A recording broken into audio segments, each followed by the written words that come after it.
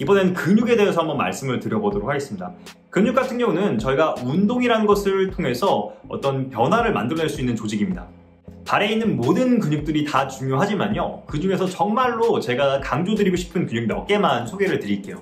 첫 번째로는 엄지 편근과 발가락 편근입니다. 편근이 왜 중요할까요?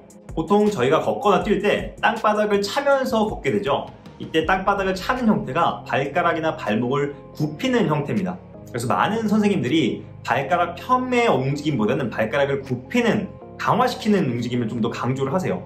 근데 제가 왜 엄지 발가락 편근과 발가락 편근을 강조를 할까요?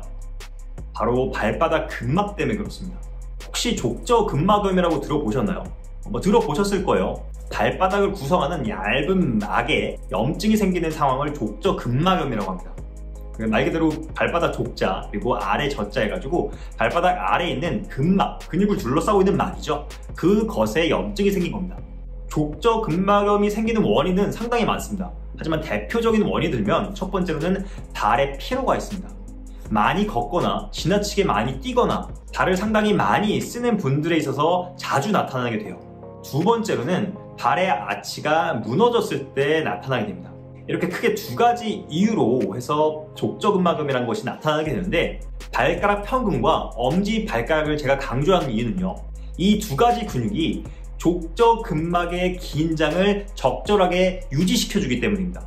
많은 분들이 인체를 되게 단순화시켜서 생각을 하시는데요. 인체는 로봇처럼 낱개가 합쳐져서 만들어진 구조물이 아닙니다. 인체는 여러 가지 막으로 둘러싸여져 있습니다. 발도 똑같아요. 그래서 이게 발이라고 치겠습니다. 이렇게 발등과 발 바닥이 있죠. 그게 이렇게 얇은 막으로 덮여져 있습니다. 자, 그러면 이 아래에 있는 막이, 아래에 있는 막이 바로 발바닥 근막일 겁니다. 발가락 평근과 엄지 발가락 평근은 어디에 있죠? 위에 있어요. 이것들이 긴장을 만들어내면요. 발바닥 근막이 어떻게 반응을 할까요? 자, 이것들이 긴장을 만들어낸다는 건 길이가 짧아진다고 생각을 하시면 될 것 같아요. 자, 이것들이 길이가 이렇게 당겨지게 되면요. 그렇죠? 어떻게 돼요? 발바닥 밑에 있는 근막들이 쭉 위로 당겨지게 되죠. 그죠? 이렇게 당겨짐을 통해서 족저 근막의 긴장력이 계속해서 유지가 되는 겁니다. 만약에 엄지발가락 평근과 발가락 평근에 긴장이 없어요. 긴장이 없어서 이 발바닥 근막을 아래에 있는 근막을 제대로 당겨주지 못한다고 하면요. 족저 근막염이 발생할 확률이 높아지게 되겠죠. 그쵸? 그래서 저는 발바닥의 아치가 낮거나 아치에 문제가 있으신 분들에게 발가락 편근과 엄지발가락 편근을 상당히 많이 강조하는 편입니다.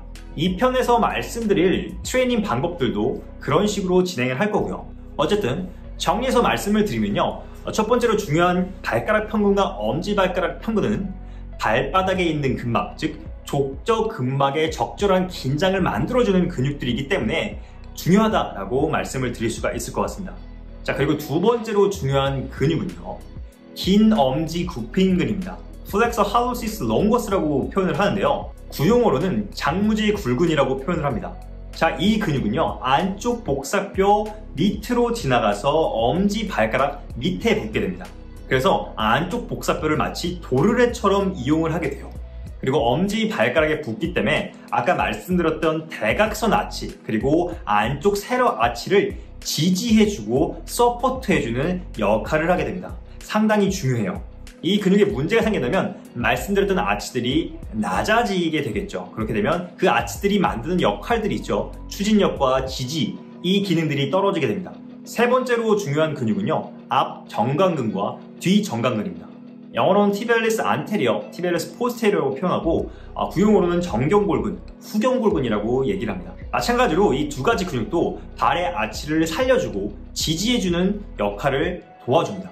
그리고 마지막 근육은요. 장비골근 그리고 단비골근입니다. 신용어로는 긴 종아리근, 짧은 종아리근, 영어로는 peroneus longus, peroneus brevis라고 표현을 합니다. 자, 이 근육들은 바깥쪽에 붙어 있어요. 바깥쪽에 붙어서 바깥쪽 복사뼈를 기준으로 해서 쭉 밑으로 지나가게 됩니다. 긴 엄지 굽힌근이 안쪽 복사뼈를 도르래로 삼았다면 이 종아리 근육들은 바깥쪽 복사뼈를 도르래처럼 사용해서 가쪽 세로 아치를 지지해주는 역할을 합니다. 여기서 긴 종아리근은요 안쪽 세로 아치를 무너뜨려주는 작용을 해요. 어 그러면 안쪽 세로 아치를 무너뜨려주는 기능을 하는데 그럼 안 좋은 근육 아닌가요? 라고 질문을 하실 수가 있어요. 자, 근데 저희가 걸을 때 아치가 어떻게 되죠? 아치가 무너져 줘야 됩니다. 아치가 무너져 주면서 무너지면서 만들어지는 탄성력과 근육의 힘이 합쳐져서 전방 추진력, 앞으로 갈 수 있는 힘을 만들어내게 되는 것이죠. 그래서 사람 발은 계속해서 아치 형태가 유지되어야 되는 것이 아니고요. 아치가 무너졌다가 만들어졌다. 이렇게 유연하게 형태가 바뀔 수가 있어야 됩니다. 그렇게 아치의 형태가 유연하게 바뀌어 주어야만 자연스럽게 보행과 달리기의 형태가 나타날 수가 있는 것이죠. 자, 그리고 앞 정강근은 안쪽 세로 아치를 지지해주는 반면 긴 종아리근은 안쪽 세로 아치를 무너뜨려준다고 말씀드렸죠. 그래서 이 두 근육은 서로 반대되는 작용을 합니다. 만약에 이 두 가지 근육이 서로 밸런스가 안 맞게 된다면 어떻게 될까요? 그렇죠. 문제점이 나타나게 될 겁니다. 그래서 발을 보셨을 때는 이 두 가지 근육들의 밸런스도 같이 보시는 것이 좋습니다. 저 같은 경우는 근반응 검사를 통해서 이 두 가지 근육의 밸런스를 보는 편입니다. 굳이 근반응 검사를 하지 않아도 다른 여러 방법들을 이용해서 평가를 하실 수도 있습니다. 어쨌든 이렇게 크게 네 가지 근육들을 저희가 좀 알아봤습니다. 그리고 이것들이 왜 중요한지 말씀을 드렸고요. 다음 편에서 실제적으로 운동을 알려드릴 건데요.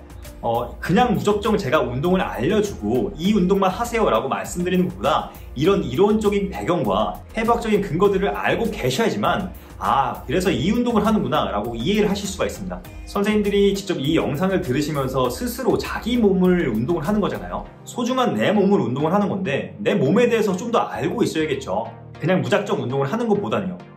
그쵸? 그래서 무작정 스킵은 하지 마시고요. 저는 이런 이런 쪽 배경과 해법적인 근거들을 이해하시고 매우란 소리가 아닙니다. 이해하시고 아 이런 게 있구나. 이래서 운동을 하는구나. 이래서 이런 운동을 하는구나. 라고 이해를 해주셨으면 좋겠습니다 어, 네. 아, 그래서 좀 지루하셨을 수도 있을 텐데 다음 편에서 한번 진짜 운동을 해보도록 하겠습니다. 질문이 있으시면 댓글로 남겨주시거나요. 아니면 개인적으로 문의 주시면 제가 아는 한도에서 말씀을 드리도록 하겠습니다. 시청해주셔서 감사합니다.